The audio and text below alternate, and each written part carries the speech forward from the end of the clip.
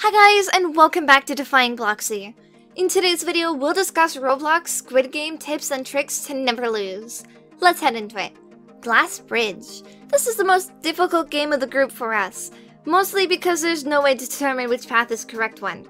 The goal here is to leap across the glass panels on the bridge, except one of the panels are divided into two parallel rows, of which one is fake while the other is not. Furthermore, because there's no way to tell whether one is fake or not, players are frequently forced to take risks, and if they fail, it's on the others who will have to reap the benefits of their misfortunes instead. With the exception of sheer chance, we have no idea how to win this game.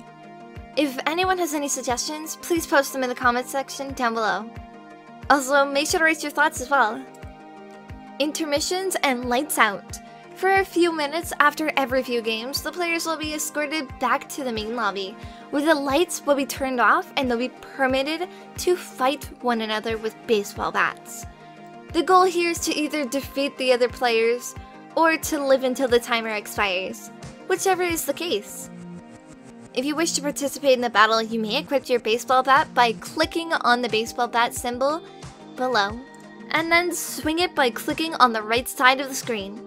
If you line up your swing perfectly, you'll be able to hit around surrounding adversaries, which will reduce their health by.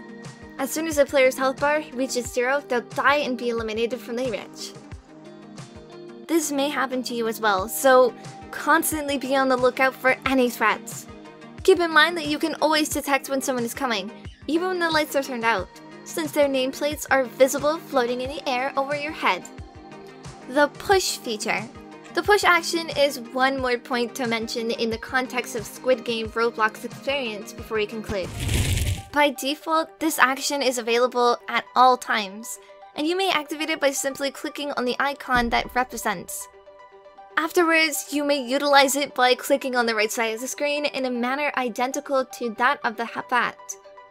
However, unlike the bat, the push does not cause any damage, but it can temporarily knock the target to the ground, which may be quite detrimental in some games. You can easily push someone to their death if you use it in the Glass Bridge game, and you can do the same thing in Flood Race game.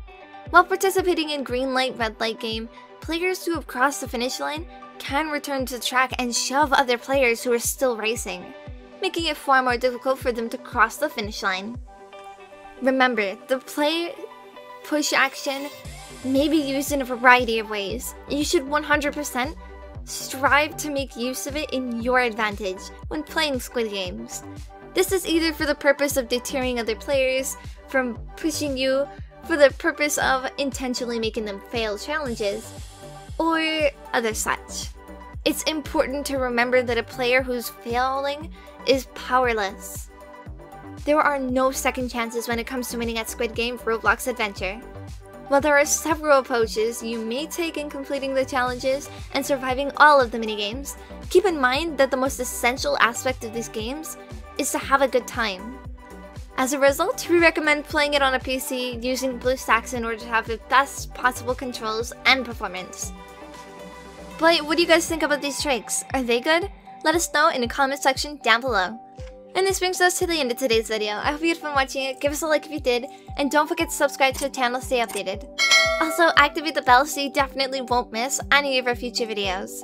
And watch the two videos on screen, because I'm sure you'll love at least one of them.